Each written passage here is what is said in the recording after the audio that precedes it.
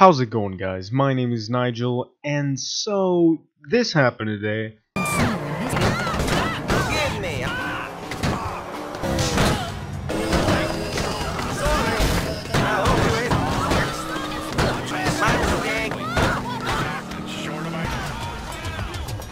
Which was pretty interesting.